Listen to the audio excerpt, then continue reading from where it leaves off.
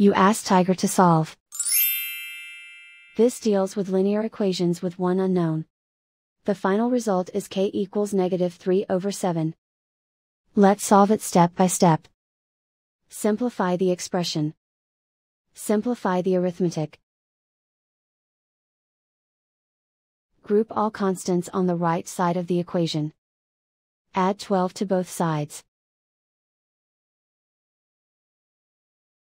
Simplify the arithmetic.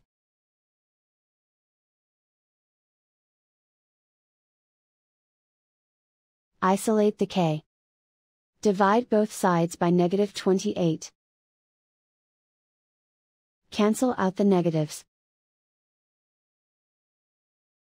Simplify the fraction. Move the negative sign from the denominator to the numerator. Find the greatest common factor of the numerator and denominator. Factor out and cancel the greatest common factor. And so the final result is k equals negative 3 over 7.